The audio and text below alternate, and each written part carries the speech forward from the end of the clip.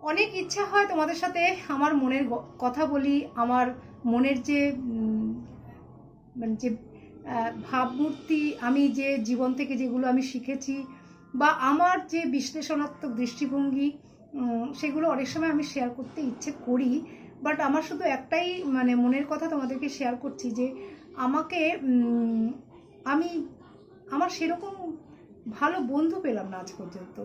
মানে এই ইউটিউবে এসেও কিন্তু আমার সেরকম কোনো কমেন্ট সেরকম পাইনি যে আমার ভাবনা চিন্তাকে তারা একটুখানি একটু তাদেরকে ভালো লেগেছে বা বুঝতে চেষ্টা করেছে আর কি।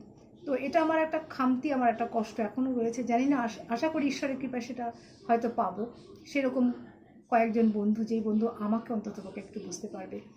কারণ একটু ভিন্ন পথের মানুষ আমি, একদম একদম অন্য উল্টো পথের মানুষ আমি। অনেক কিছুই মানি না, আবার অনেক কিছুকেই ভীষণ মানে দাম দিই, আবার অনেক কিছুকে ইগনোর করি।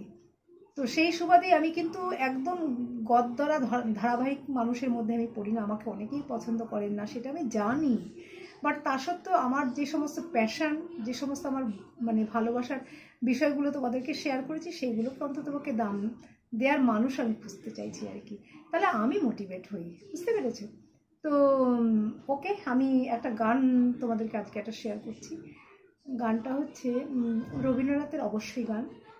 গানটা আমার ছেলে কিছুদিন ধরে অদিতি মহসিনের গান সমানে শোনাচ্ছে, আমার খুব প্রিয় একজন শিল্পী। তো তারই একটা গান মানে তার তাকে ফলো করে যেই গানটা আমি তুলেছিলাম আর কি, তো তারই সেই গানটাই আমি গাইছি আর কি, রবীন্দ্রনাথের গান। তো আমার হাজব্যান্ড বলছে যে, তুমি আরও বসো, তুমি একটুখানি, তুমি হারমোনিয়াম নিয়ে একটু বসো, তুমি অনেকদিন বসছো না, গান টান নিয়ে, যে কি ইউটিউব নিয়ে আছো তুমি হ্যাঁ? একটু গান টান দিয়ে, গানের দিকে মন দাও। আমি বললাম, দাঁড়াও, আরেকটু সময়, একটু মানে আমার একটু সময় লাগবে, আরেকটু আরেকটু ওয়েট করো, আমি আরেক, আমি আবার নিজের ঝাপগুলো আবার তুলে তুলে আমি সব সেগুলো নিয়ে বসবো আর কি। যা বলতে বলতে আমার বই পড়া, আমার আরও অনেক ভালো লাগা বিষয় আছে। ইউটিউব একমাত্র নয়, আমার আরও অনেক বিষয় আছে। তো গানটা শুরু করছি। পুরোটা গাইতে পারব না হয়তো। Sorry. আজি গোধূলি লাগনে বদল গাগনে তার চরণ দনি আমি হৃদয়ে গনি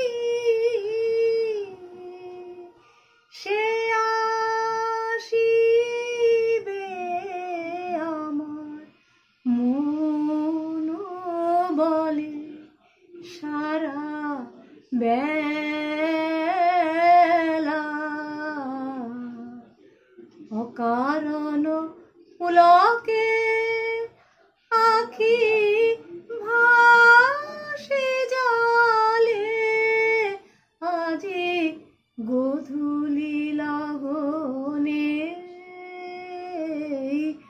বাদল গগনে তার চরণ ধ্বনি।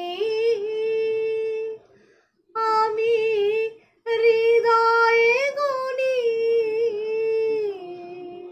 সে আসিবে আমার মন বলে সারা বেলা আজকে এইটুকুই গাইলাম। আবার পরের দিন সুযোগ পেলে পুরোটা শোনাবো তোমাদেরকে। কেমন লাগল বলবে?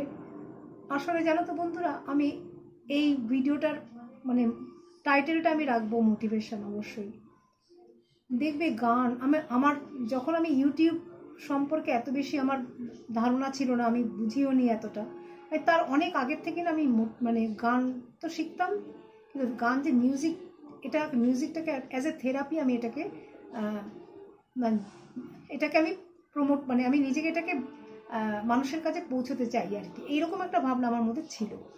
বিকজ আমি নিজেই মোটিভেট হয়েছে অনেক সময় অনেক সময় আমার অনেক দুঃখ, আমার কাতরতা, আমার অনেক ডিপ্রেশন এই গান আমাকে মুক্ত করেছে। তো সেই জন্য আমি না খুব বেছে বেছে গান শুনি, বেছে বেছে গান পছন্দ করি। বাজারের সব রকম গান আমি পছন্দ করি না। এই এই দিক থেকে আমি ভীষণ ব্যতিক্রমী, ভীষণ ভিন্ন চরিত্রের মানুষ।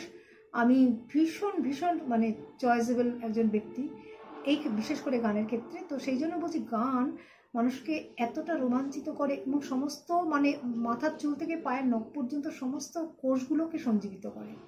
মানে এতটা তার ক্ষমতা। সুতরাং এই গান আমার ভীষণ ভীষণ একটা প্রাণের জিনিস, ভীষণ ভীষণ প্রাণের জিনিস।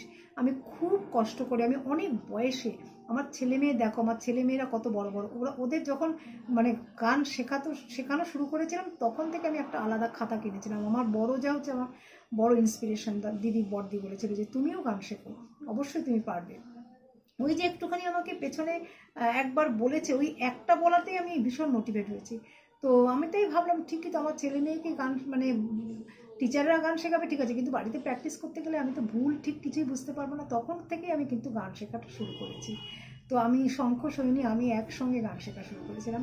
তো ওদের তো জেনেটিক্স ওদের যে, ওদের জিনগত কারণে ওদের, আমার মেয়ে এবং ছেলে ওদের গানটা মানে মোটামুটি করতে পারে বাট ট্র্যাডিশনাল যে সমস্ত প্রথাগত যে মানে যেই পদ্ধতিতে যেই শেখা, সেই, সেইগুলো তো শেখাতে পারিনি। অল্প অল্প শিখেছিল। তো শঙ্খ এখনও গান করে, তো শঙ্খ ভীষণ গান শুনতেও ভালোবাসে। প্রচুর গান শোনায় আমাকে আমাকে, ওর বাবাকে।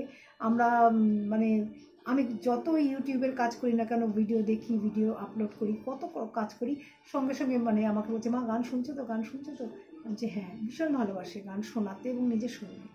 আশা করি বন্ধুরা, আমার এই গান এবং আমার এই মোটিভেশন এই যে আমার আমার যে আমি যেভাবে গানটাকে যে দৃষ্টিভঙ্গিতে দেখি আশা করি তোমাদের ভালো লাগবে। আর মাথার উপর একজন আছেন